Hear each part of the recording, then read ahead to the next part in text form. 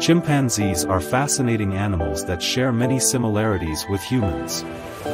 They are highly intelligent and have been observed using tools to extract insects from their nests and crack open nuts.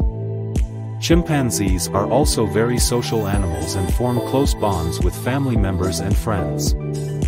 However, they have a complex social hierarchy and dominant individuals often assert their authority through displays of aggression.